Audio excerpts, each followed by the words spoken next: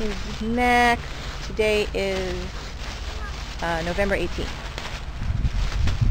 Come on, buddy. Good job.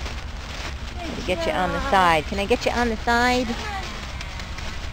Come on, sweetie. Well, there you go. Hey. Look at you.